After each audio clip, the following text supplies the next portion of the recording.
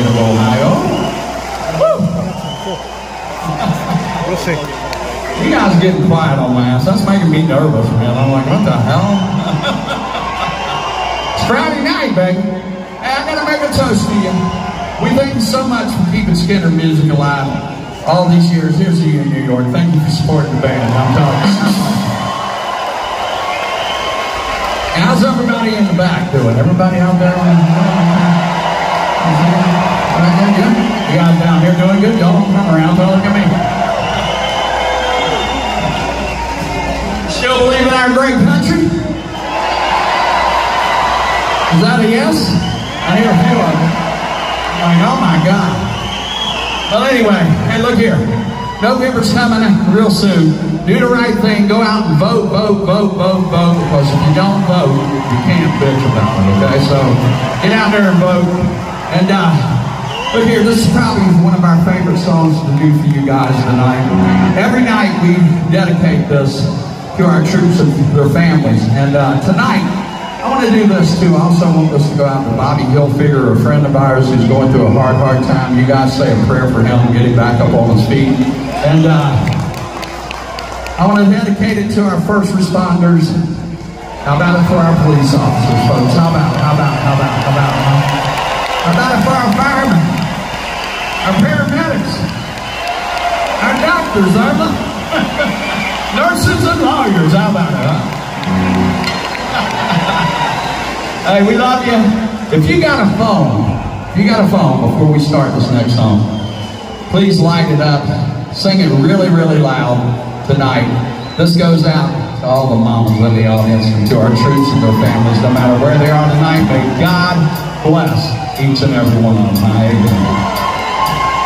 Thank you.